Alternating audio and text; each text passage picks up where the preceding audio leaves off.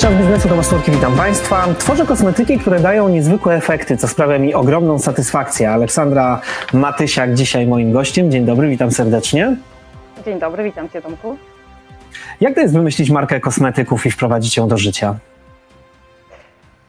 E, no, bardzo ciekawie, bardzo fajne jest to, jest to zajęcie. E, mnóstwo osób teraz tworzy kosmetyki, więc, więc myślę, że, że wiele osób e, widzi w tym coś ciekawego. No mnie mm, przykuło jakby do, do, do całego tego procesu i, i, projektu pod tytułem Własna Marka to, że chciałam osobom, które cierpią na nadmiernie suchą skórę, pomóc w jakiś sposób. E, ta branża kosmetyczna e, nie przypadkiem e, się pojawiła, dlatego że ja mam spore doświadczenie w branży kosmetycznej, akurat w zupełnie innej działce, mianowicie w handlu zagranicznym, bo byłam handlowcem przez wiele lat, ale zauważyłam taką niszę na rynku. Różne okoliczności życiowe spowodowały, że, że postanowiłam stworzyć coś swojego. I tak po nitce do kłębka powstała marka Melifer.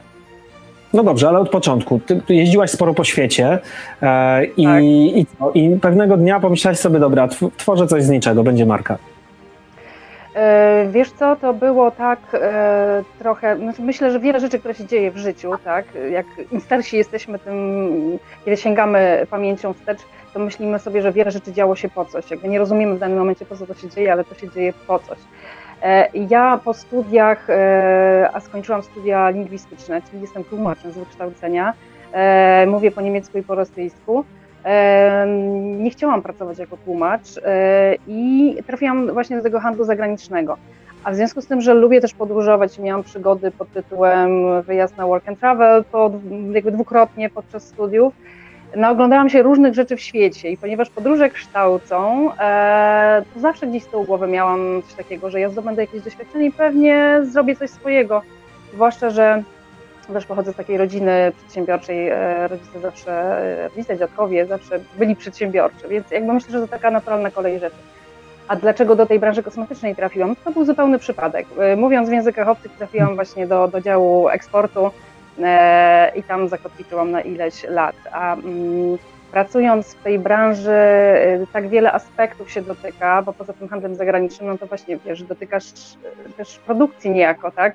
Gdzieś jesteś obok tego laboratorium, widzisz jak to się tworzy. A to jest strasznie ciekawe, coś tworzyć, zrobić coś z niczego, tak? I Jestem też takim trochę obserwatorem, lubię obserwować trendy, patrzę co się dzieje, nie wiem, na przykład w modzie i już mi po głowie chodzą pomysły, jak to się przełoży na branżę kosmetyczną albo na, na, na e, branżę e, dotyczącą e, wystroju wnętrz, tak, bo to jakby jedno za drugim podąża.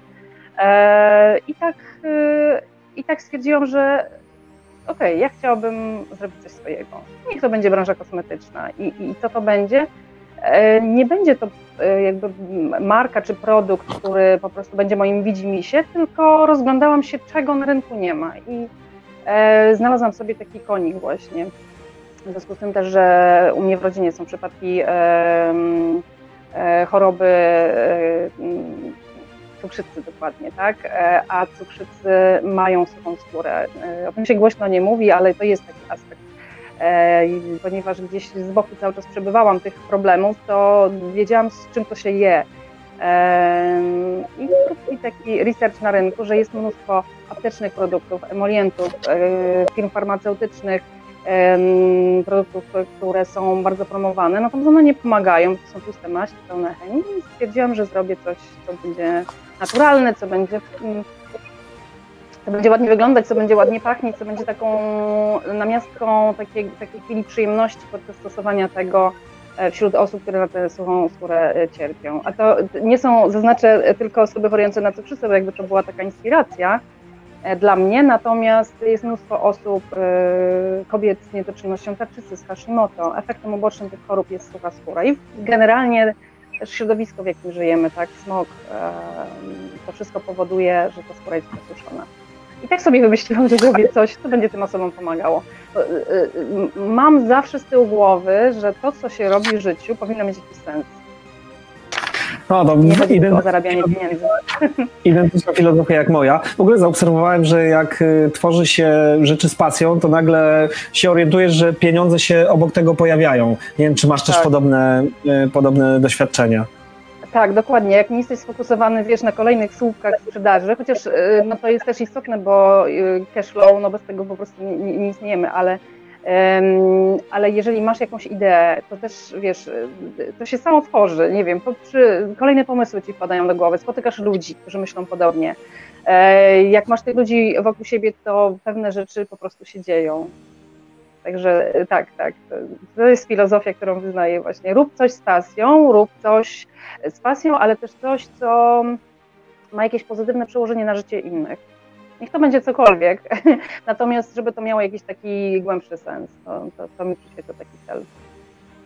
A jak wygląda fizyczne tworzenie tych kosmetyków? Czy to jest tak, że nie wiem, że różne rzeczy wrzucasz do jakiegoś jednego pojemniczka, mieszasz, mieszasz, mieszasz, nakładasz na skórę i nagle się okazuje, że masz markę kosmetyków?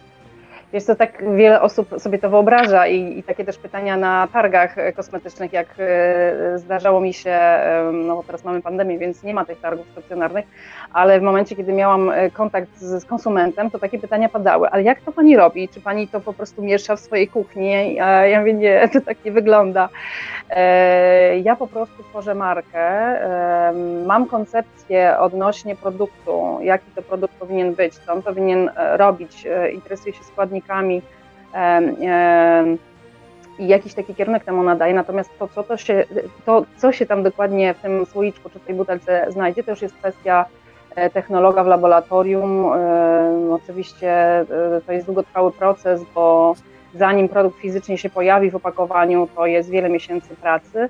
E, I ja po prostu zlecam te produkcje mm, do laboratorium przygotowanie receptury do laboratorium, a następnie jest to produkowane w zakładzie produkcyjnym, który wszelkie zezwolenia GMP e, posiada na tego typu produkcję i nie jestem też jedyną marką, jaką tam e, tworzą e, ci ludzie, cały zespół wspaniałych specjalistów, bo dzisiaj e, mamy taką tendencję na rynku właśnie, że, że nie wiem, czy zwróciłeś uwagę, ale kiedyś e, osoby, które na przykład studiowały chemię, biotechnologię, te osoby e, po skończeniu studiów szukały pracy w dużych zakładach produkcyjnych, e, szukały pracy w laboratorium. Dzisiaj e, większość to są dziewczyny, one chcą mieć swoje marki i, i one zaczynają tworzyć, więc nie mogą wszystkie stworzyć swojego laboratorium, swojego zakładu produkcyjnego, bo jest to skomplikowane, czasochłonne, pracochłonne, jest e, o wiele prościej i sprawniej zlecić to na zewnątrz, tym samym dając pracę ludziom, którzy tam pracują, tak? którzy, którzy e, na nasze zlecenie takie receptury przygotują i taki gotowy produkt już opakowany, też zaetykietowany przygotują. Także nie mieszam w kuchni. No, jest ciekawe, ciekawe, żeby Mhm. E, tak, e, zdarzają się osoby, które, które coś takiego przygotowują, ale to raczej myślę, że wśród znajomych czy rodzin rozprowadzają, dlatego że nie jest to możliwe, żeby do handlu wprowadzić coś, co nie posiada e, oceny bezpieczeństwa. To jest taki dokument, na który składa się szereg innych dokumentów z badań fizykochemicznych, hmm. dermatologicznych, badań, które na probantach, czyli na osobach, które poddają się badaniom danego produktu na skórze, jak, jakie ono działanie, jakie działanie ten produkt posiada. Także to jest cały skomplikowany proces. A ja tym wszystkim zarządzam, e, pociągam za sznurki, e, kontroluję, pilnuję, czyli 24 godziny na dobę, 7 dni w tygodniu zajmuje mi moje dziecko numer 3, czyli moja, moja firma, moja marka. E, podróże tak kochasz. Tak, kochasz też podróże, podróżujesz po całym świecie i to zawodowo. E, tak, podróże kocham od zawsze, e, zawsze mnie nosiło e, po świecie dużo podróżowałam e, z racji właśnie wykształcenia i, i potem pracy zawodowej bardzo dużo podróżowałam, co, co było wspaniałe przez pewien okres. Natomiast jak się pojawiły e, dzieci w domu, no to mm, było to trochę uciążliwe, kiedy znikałam na 5-7 dni e, jeżdżąc gdzieś po świecie. To też właśnie, jak pytałeś o, o, o to, jak to się zaczęło, to też był jeden z aspektów, że myślałam sobie, że jak stworzę swoją markę, to, e, to nie będę tak dużo musiała jeździć po świecie, tak będę więcej w domu, będę z dziećmi. To nie jest prawdą. No i poza E, poza tymi podróżami prywatnie, które odbywam, no to też mając swoją markę, jakby na, dla mnie naturalne było to, że będę chciała ją promować za granicą i sprzedawać za granicą. E, I tych podróży sporo odbyłam w ubiegłym roku, dlatego że skorzystałam z takiego dofinansowania na promocję marki za granicą i, i zjeździłam świat od, od Tokio poprzez Seul aż do Las Vegas. E, wyrobiłam 300% normy, dlatego mhm. że Więcej mi w domu nie było w ubiegłym roku niż, niż byłam, ale kocham podróże, uwielbiam w ogóle kontakt z ludźmi z różnych zakątków świata. Ja uwielbiałam to pracując na etacie, kiedy przychodziłam rano do pracy i mogłam rozmawiać z kimś z Kazachstanu, e, następnego dnia z kimś ze Szwecji, e, po czym e, lecieć na przykład, nie wiem, na Syberię, więc strasznie to lubię. Lubię kontakt z ludźmi. No i teraz w mojej obecnej pracy zawodowej, w własnej firmie też, też mogę się w ten sposób realizować. Trochę pandemia to pokrzyżowała, ale. Właśnie o to chciałem zapytać. Jak kryzys z 2020 roku koronawirusa wpłynął na Twoją markę? E, powiem tak, e, jakichś większych zawirowań, poza tym, że e, troszeczkę zostaliśmy zablokowani, jeśli chodzi o tę ekspansję zagraniczną, dlatego że wszelkie relacje, jakie nawiązaliśmy, to one w zasadzie teraz zostały zawieszone na, na kołku, dlatego że e, raz, że niektóre granice są zamknięte, dwa, że e, sprzedaż wszędzie spadła, ponieważ był lockdown, nie tylko u nas. E, więc wszyscy się borykają z tym samym problemem, mianowicie z zatowarowaniem i poszukiwanie nowych marek, nowych tematów e, jest ograniczone w pewien sposób. Więc my jako moda marka no jest nam dużo trudniej um, dokonywać tych wszystkich czynności, jakie mieliśmy zaplanowane na ten rok. Niemniej jednak przeszliśmy do sprzedaży online, posiadaliśmy sprzedaż online, ale jakby na tym skupiliśmy się. No i dzisiaj wiele rozmów odbywamy właśnie w takiej formie jak dzisiaj, tak? czyli online. Nie spotykamy się fizycznie, nie latamy gdzieś tam daleko, chęt świat. No ale mam nadzieję, że, że uporamy się z tym nawrotem jesiennym e, pandemii i, i przyszły rok po prostu z pewną parą um, ruszymy i będziemy mogli te wszystkie działania, jakie mamy zaplanowane, wykonać. No nie jest Trzeba lekko, e, natomiast tak, dziękuję. Natomiast no, muszę powiedzieć, że mm, uratowało nas to, że my nie tworzymy produktów do twarzy, tworzymy produkty do dłoni, do stóp, do ciała i mamy fantastyczny krem do rąk i ten krem do rąk wiosną nam uratował życie, dlatego że wszyscy potrzebowaliśmy y, kremu do rąk i on się świetnie sprzedawał, a że jest rewelacyjny, ma bardzo dobry skład, takie organoleptyczne wrażenia są zawsze pozytywne, bardzo ładnie pachnie, świetnie się wchłania, więc on nas uratował w kontekście pandemii i tych trudności, z jakimi się wszystkie firmy marki borykały. Jak stworzyć coś z niczego?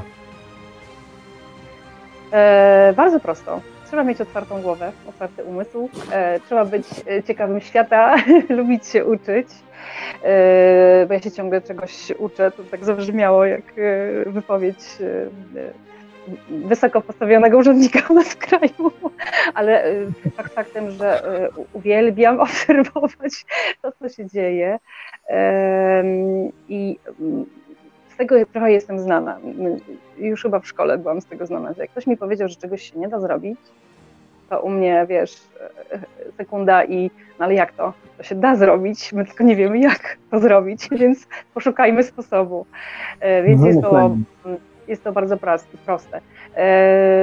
Uczę też swoje dzieci tego, żeby były odważne, żeby się nie bały, żeby e, wszelkie ograniczenia, jakie nam z zewnątrz świat nadaje, żeby po prostu przepuszczały to przez palce i żeby zastanawiały się, że jak chcę coś osiągnąć, to tylko muszę usiąść, spisać sobie e, punkty, jak to zrobić, w jakim czasie rozłożyć na czynniki pierwsze i do dzieła.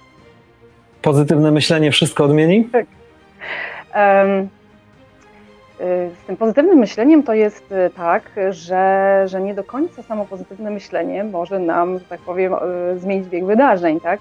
E, teraz taką książkę czytam e, Ryana Holiday'a, e, Przeszkoda czy mm, jaki to był typ? Przeszkoda czy wyzwanie? O, tak. W której jest bardzo dużo na temat tego, że wszystko, co nam się przytrafia, co w pierwszej chwili jakby z racji tego, jak zostaliśmy wychowani, traktujemy jak przeszkodę, żebyśmy zaczęli myśleć o tym inaczej, czyli to, co mi się przytrafia nawet niefajnego, jak to potraktować jako wyzwanie, jako możliwość. E, nawet takie mam powiedzonko swoje, że jak e, ktoś mi da cytryny, to ja zrobię z tego lemoniadę. E, I na tym to chyba polega, żeby nie być po prostu beztroskim i optymistycznym, bo będzie fantastycznie. Nie, po prostu z tym, co mamy, co możemy zrobić. Dzisiaj pada deszcz, no to nie jest fatalny dzień. To zakładam kalosze i idę na spacer i można sobie romantycznie pospacerować w deszczu. Więc to pozytywne myślenie z taką zakładką, że, że róbmy swoje i wykorzystujmy momenty, tak. to, co nam życie przynosi. Dokładnie. To na zakończenie powiedz jeszcze, jak ty możesz pomóc nam wszystkim. E, słuchajcie, ja Wam mogę pomóc e, doprowadzić swoją skórę do takiego stanu, że będziecie w takim poczuciu komfortu, że będziecie mogli spełniać swoje marzenia, wykonywać swoją pracę zawodową, robić cokolwiek tylko chcecie, a sucha skóra nie będzie Wam e, przeszkadzała w tym. Są takie sytuacje, kiedy siedzimy na przykład przy biurku w pracy i nie możemy się skupić na, na stukaniu na klawiaturze, dlatego że sędzi nas łokieć albo kolano, tak, albo pięta. E, kremy Meliker są e, w świetnej jakości i naprawdę dają efekt. To nie są takie kremy, którymi posmarujemy dłonie na chwilę i po umyciu tych dłoni ona będzie znowu e, sucha. Nie, one poprawiają stan tej skóry i po to zostały stworzone, żeby rzeczywiście realnie pomagały, a nie były tylko takim gadżetem, który nie zrobi nic. Także zapraszam. Aleksandra Matysiak, bardzo dziękuję. E, wszystkiego dobrego życzę i cieszę się, że jesteś w książce Coś z niczego, że jest twoja sylwetka i że mogliśmy się podzielić tymi e, ważnymi dla, myślę, wielu przedsiębiorców, którzy czy rozpoczynają swój biznes, czy szukają teraz rozwiązań w trakcie e, kryzysu nowych dróg, właśnie tymi informacjami. Bardzo Ci dziękuję, Aleksandra, za rozmowę. Dziękuję bardzo, Tomku. Pozdrawiam serdecznie.